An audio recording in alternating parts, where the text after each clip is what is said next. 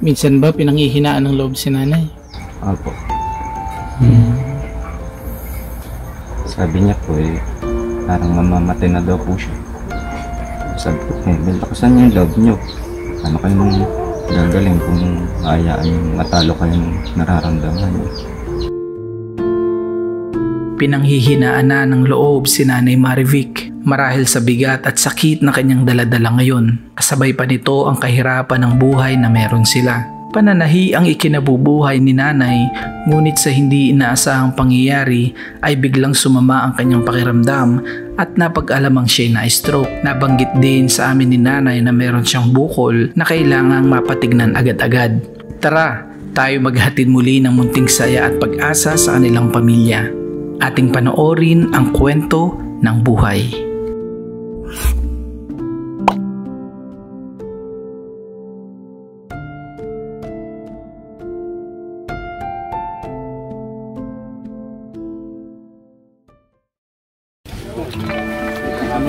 Kamusta po kayo?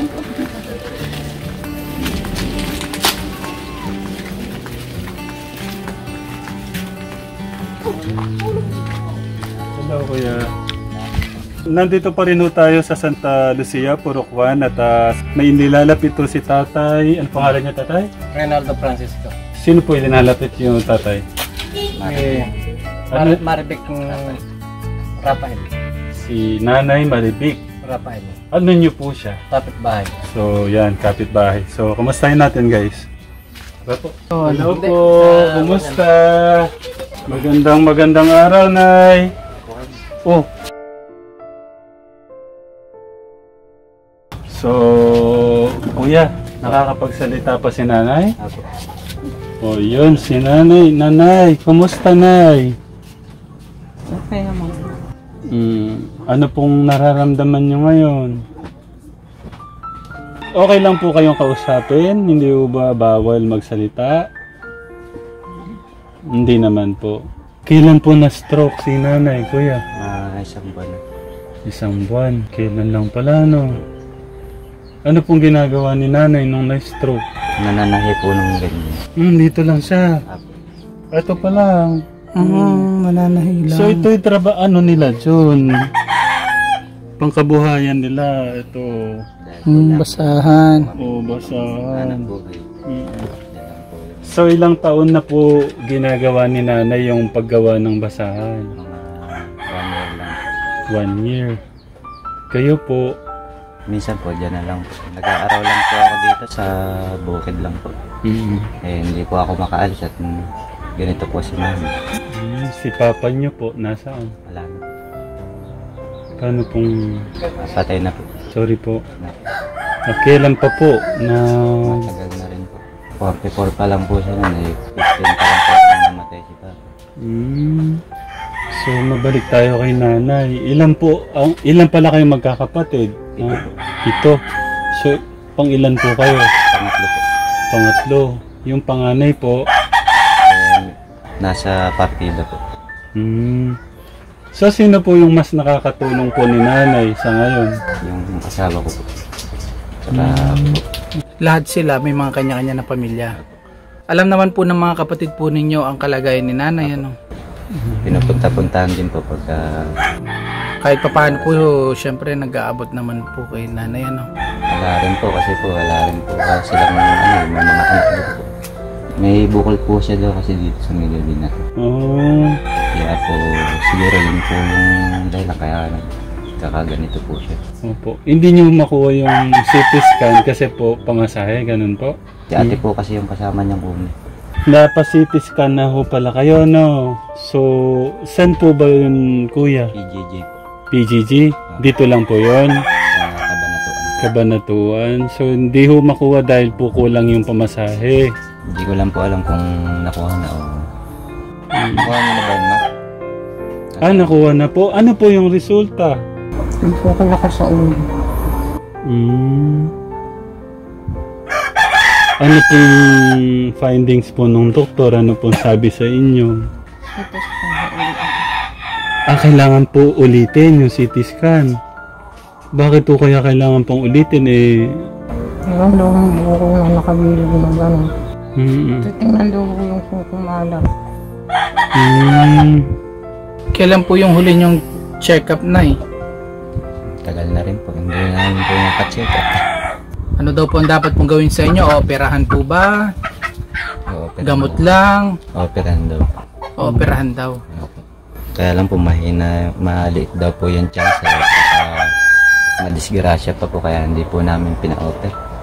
Mm. Ayun po nung ate ko, pag inopera, 50-40 daw po. 60-40. Ah, Parang 50.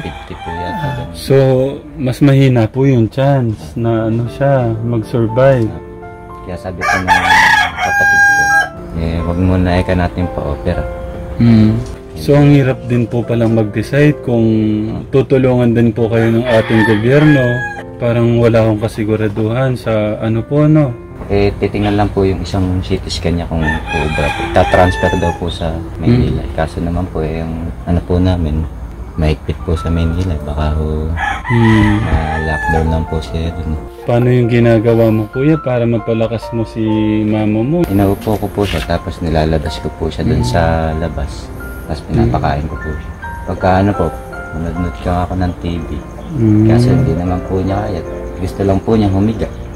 Mm. Kasi po pag umupo siya, bumabagsak po siyang gano'n. Kasi yung kalahati po ng katawan. Hindi po niya mai-balance. Mm. Nalalaglag.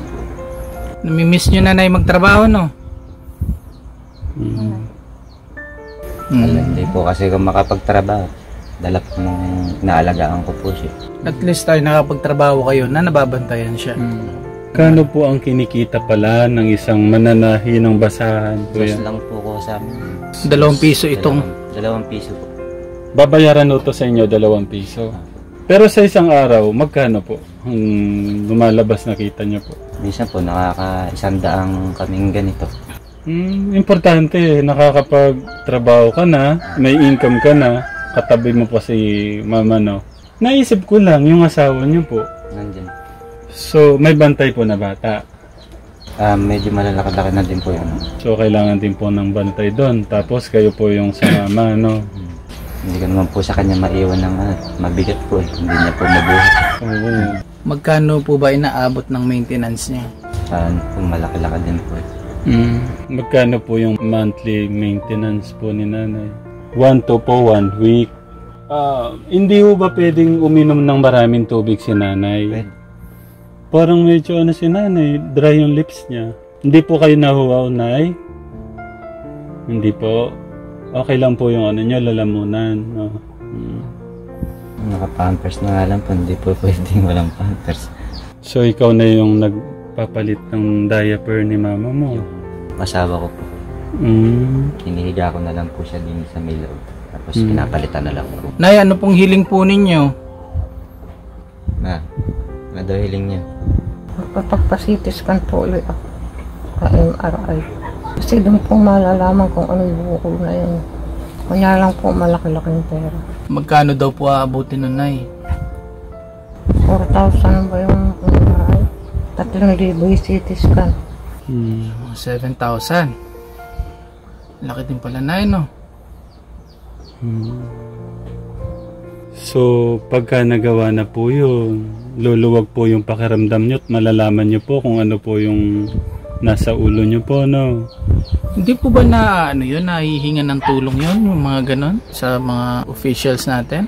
Hindi ko rin po, ano, Mm. yung dito-dito lang po kasi wala po akong alam na malalapit. Na-try nyo na po sa barangay natin lumapit. Hindi pa po. Mm. Pero dapat try nyo pa rin po.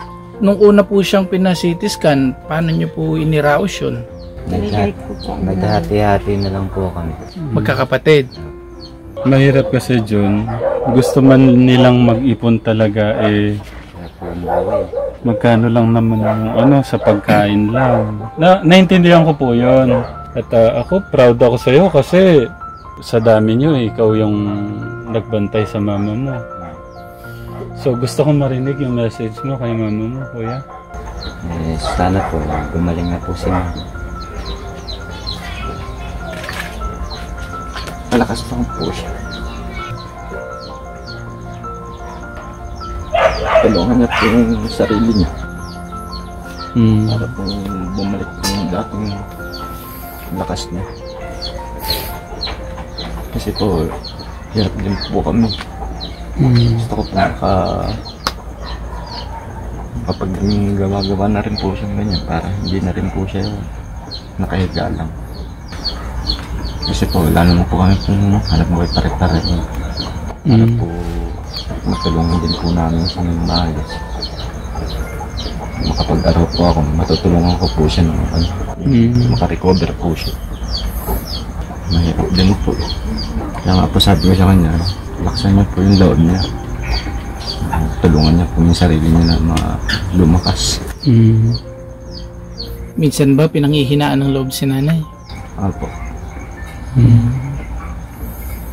May nababanggit ba minsan si nanay na ano? Sabi niya po eh, parang mamamatay na daw po siya. Sabi ko, eh, lakasan niyo yung loob niyo. Ano kayong gagaling kung hayaan yung matalo kayo ng nararamdaman. Yung nararamdaman mo kuya eh, alam ko masakit yan. Gusto mong gawin yung ano yung kaya mong maitulong pero hindi mo magawa kasi kulang yung kakayanan natin para maibigay yung dapat, no? So, gusto mo mang guminawa agad-agad pero hindi kaya. Parang ang sakit naman din ng pakaramdam ng ganun, no? Yung pag-alaga. Pag-aalaga po. Mm. Malaking bagay yun, kuya. Yung ngayon, nararamdaman ni nanay, yung pagmamahal, higit sa lahat, yung paghawak mo sa kanya. Yun yung pinaka number one na dapat niyang maramdaman ngayon. Na yung isang anak niya na nandito, mahal na mahal niya, yun yung ano to. Pinaka number one, mabisang gamot sa lahat. Pagmamahal. Number one, sigat, siyempre. Sumunod yung pagmamahal sa magulang. So, I'm very proud sa'yo kasi nandyan ka sa magulang mo. At ah, inaalagaan po kayo. Ano pong masasabi nyo sa anak nyo? Pasalamat ako sa kanila na dyan pa. Hmm. Bakit na kayo pinanghihinaan ng loob? Sakit kasi ganito ko pag kumangon ako parang matatanggal yung ulo. Hmm. Sobrang sakit, Nay. Kami po ni John ay YouTube vlogger. Meron po tayong YouTube channel. Yung mga ibang kababayan po natin, yung Katekram family sponsor po namin. Kaya may mga gustong nagpapaabot po sila ng pagmamahal sa mga gaya po nyo. Yung pinadala po ni Tita Joy Desierdo na 5,025, eh, sa inyo ko na lang iaabot. At saka po yung ah, pinadala po ni Tita Meli na 3,000 sa inyo ko na lang din po iaabot para may sobra pa po doon sa wish nyo na mapa-CT at saka MRI, no? Ito po yung kay Tita Joy Desierdo, 5,025. So, 1, 2, 3, 4, 5. Ito naman po yung kay Tita Meli, 3,000 po. 1, 2, 8,000. So, pasalamat po kayo kay Tita Joy at saka kay Tita Meli po. Maraming maraming salamat po dito. Malaking bagay po kay mama. Thank you po. Ma'am, salamat po. Ayan na, nanay, makakapagpa-CT scan ka na. Makakapag-MRI ka na. Maraming maraming salamat. Laban lang po, ano? Huwag po kayong panghinaan ng loob. Mag-iingat po kayo, no? At ah, laban lang. Palakas, lakasan nyo lang po loob nyo. Nandyan po si God. Nakabantay po sa inyo. No? Ikaw kuya, alam ko eh, pagpapalain ka ng ating Diyos kasi nandyan ka para sa iyong magulang, sa inyong nanay, no? Sabi nga eh, pag minahal mo daw ng sobra-sobra yung magulang mo, sobra-sobrang biyaya din ang babalik sa'yo na ibibigay ni God, no? So, I'm very proud ulit. At ah, ingat po kayo lagi. Po. Salamat po. po wala pong sawang nagpapasalamat sa inyo pong wala pong sawang pagmamahal at tiwala po sa amin. Ta, ingat po kayo lagi. Mahal po namin kayo.